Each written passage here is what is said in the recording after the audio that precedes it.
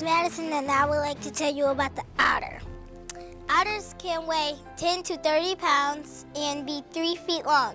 They have long tails that, that can be 12 to 18 inches long. Their babies are covered in fur that traps tiny bubbles that help them swim. The baby otters are born in the spring, and they are called pups. Mo mommy otters have two to four pups at a time. Otters always live near water, and when they swim together, they are called a raft. They, there are two main types of otters, sea otters and river otters. River otters live in Ohio.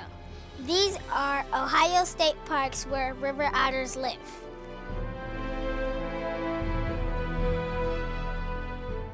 I learned that baby otters are called pups. I'm Serenity. I'm going to tell you about the bat. All bats are mammals because they are warm blooded, have furry, and they nurse their babies with milk. Bats sleep upside down in trees or caves during the day and the, they hunt for their food at night. Bats can be brown, white, gray, or reddish brown. Bats do not harm people. I learned about the bat how she nurses her babies with milk. My name is Autumn and I'm teaching you about the skunk. Skunks spray a uh, smelly musk when they are threatened. Skunks eat insects, reptiles, spiders, clams, and mice. Skunks live in woods, logs, under houses. Skunks are nocturnal and do not like light. They sleep during the day.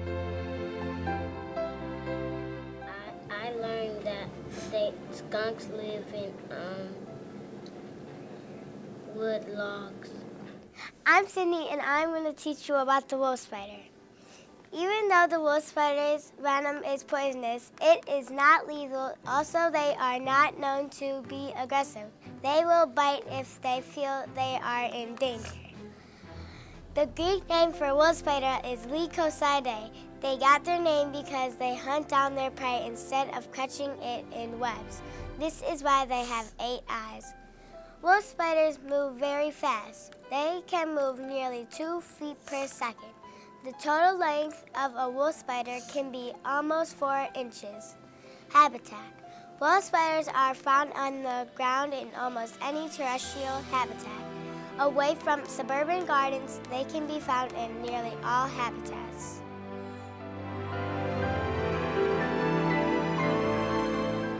I learned that the wolf spider has eight eyes. My name is Dennis and I'm going to teach you about sea turtles and land turtles. The earliest known turtle date back 215 million years ago. Turtles are reptiles and and in the are reptiles and are in the same family as lizards, snakes, and crocodiles. Turtles live both in water and on land. Land turtles eat vegetables and fruit, and sea turtles eat shrimp and fish. Turtles have short, sturdy feet and move slow because of their heavy shells. Turtles can pull their neck and feet inside the shell for protection. Shells of the turtles are commonly brown, black, and olive green.